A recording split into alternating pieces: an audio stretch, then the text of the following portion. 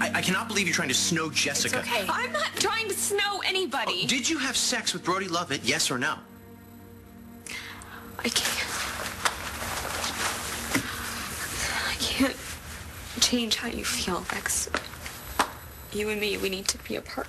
okay, translation, they had sex. Why she's trying to make Lovett out to be some kind of hero now is... Jessica and Brody's situation is totally different. Oh, so she's supposed to be okay with Lovett cheating on her and busting us up. Guys, What'd you think? Gigi, you could just do whatever you want to hell with anyone else? would you guys mind taking this somewhere else?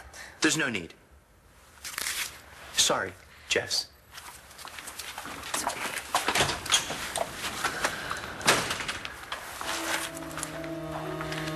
I'm sorry too. Because I honestly did not mean to drag you into this. You just have to understand that my son was dying and I and I couldn't lose him. I, I hope you never have to know what that's like. I hope you never ever have to face the thought of losing your child.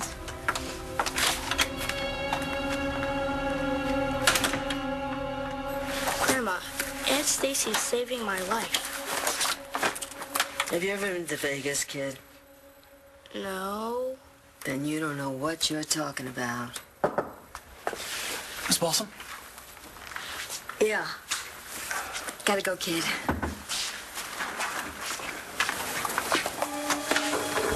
Something wrong? You're the lab technician, right? Is something wrong with the transplant? It's all good. Right, Kyle? I mean, he was just checking up on him, you know, making sure that Shane was okay. Because Kyle's been in on it from the start. I hope it all works out.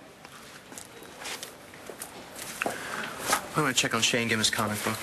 I'll come with you. You think you can give me five minutes with my son where I don't have to pretend?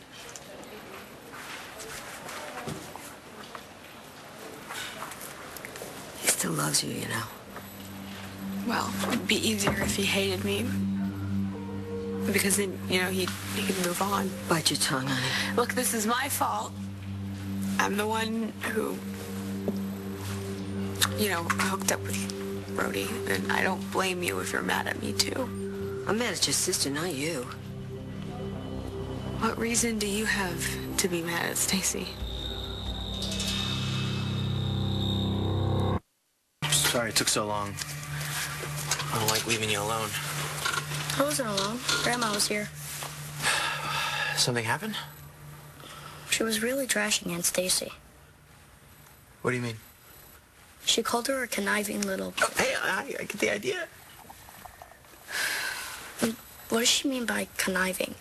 Why does Grandma hate Aunt Stacy? Uh, Grandma Roxy hates everyone till she gets to know them. But tomorrow, after the transplant and you're feeling better, she's gonna be Aunt Stacy's best friend. So don't you worry, everything's cool between your grandma and Aunt Stacy. And Mom? Is everything cool with her? What do you know about Stacy? I shouldn't have said nothing. Well, you did. Roxy, look, this is important. Shane's life is at stake. If Stacy doesn't go through with the transplant, I know Shane could die. But she's gonna go through with it, because I'm gonna make sure that she goes through with it. you're gonna make sure of it. Yeah, because uh, you love Shane, and because you love Rex so much. What do you know, Roxy? I know that Stacy forced you to break up with Rex, and that she's blackmailing you.